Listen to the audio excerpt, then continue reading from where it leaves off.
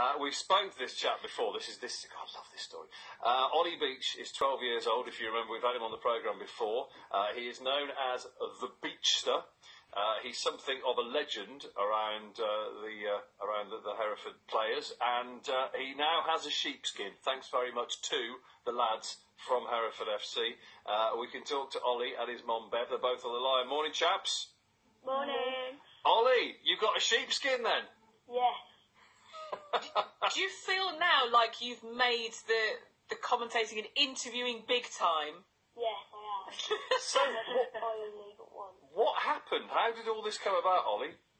Um, well, we were in the like the bar, and then obviously they said, "Wait up, wait a minute, we're about to go."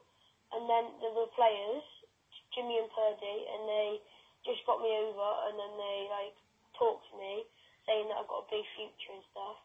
And then they they turned around and Mills had the coat, and they presented me with it, and yeah. Just describe it for us, Ollie.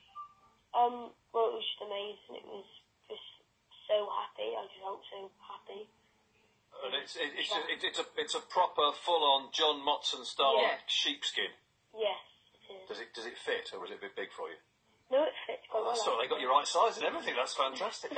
hey Bev, this is uh, what what does what does he look like in it? Oh, he looks brilliant.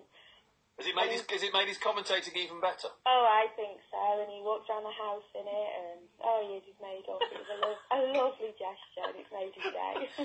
Ollie seems to really be making his mark at Hereford FC then. he does, yeah.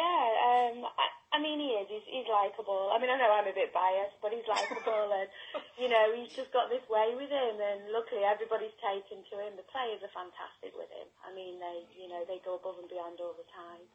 Um, and he is, yeah, he loves it. He really loves it. Uh, well, the thing is now as well, you have